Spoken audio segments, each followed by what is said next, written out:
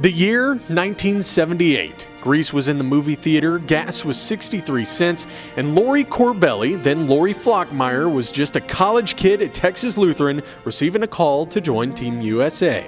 In 78, they said if you don't come now for the 80 games, you're going to miss the boat. I jumped on it and went and met, and met up with the team and that started training, and that's how I, I, got started in 1978. Under the leadership of legendary coach Arie Selinger, the team decided that if they wanted to win gold, they needed to keep up with foreign teams that were practicing full time. You know, we quit school, we were required to quit college, quit jobs.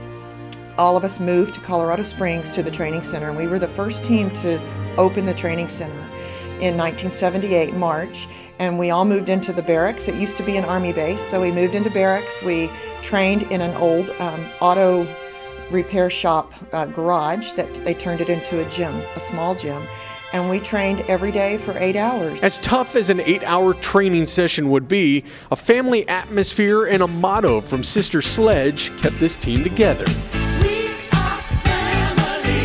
You start to just become family. And that, in fact, was our big song. Sister Sledge was "We Are Family," and we we just were. We weren't about to. As, as in the middle of a difficult drill, someone's in tears, can't go anymore, and you think, "Why am I doing this?" You know, you just look around and your teammates are right there supporting you. It was just the ultimate in team experience, and we didn't want to let each other down. But when 1980 does finally arrive, so does bad news for this volleyball family.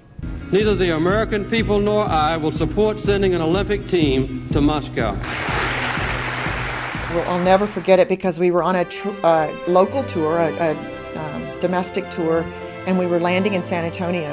And when we stepped off the plane, I'm from Texas, so all of my family had driven from Dallas to San Antonio to see the team and to see us play. And when I got off the plane and walked into the terminal, my family was all standing there, all in tears. And I knew right then that we weren't going. Not only does this team not get the chance to play for Olympic gold, but soon after, the team has to decide what to do for the next Olympics.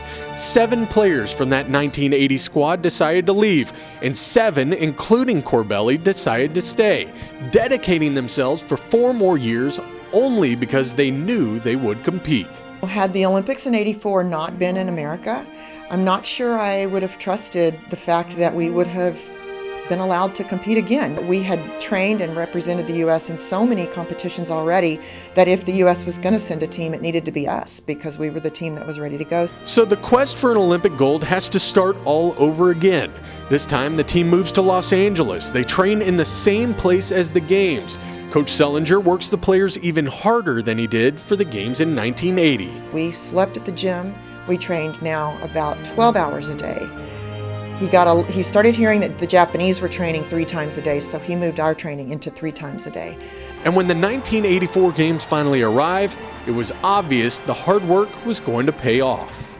We entered the stadium and the place just started, it felt like an earthquake, a Southern California earthquake. It shook, it was 90,000 Americans basically cheering when the USA finally came in. This is the moment I've been waiting for. And just the pride you feel for being an American, wearing USA, having your sisters around you, it, it's something that's so hard to describe. The team did not win gold, but it did end up with a silver. Corbelli says that after spending so much time working toward that Olympic final, silver was not such a bad thing. It really wasn't about the winning and the losing. It wasn't about gold, silver, bronze. It was about the seven years of training, the, the travel, the, the pushing yourself beyond the limits that you ever thought you could do. Now, 32 years later, Corbelli is coaching kids at A&M that weren't even born when she made her Olympic run. But it is still a teaching lesson she uses today. I challenge my players to go beyond. And it's certainly not impossible, but I think sometimes we just they just limit themselves so much with what they think they can and can't do. And I have to be the one to say, "No, you absolutely can do this. I did it. I saw people all around me do it. You can do it."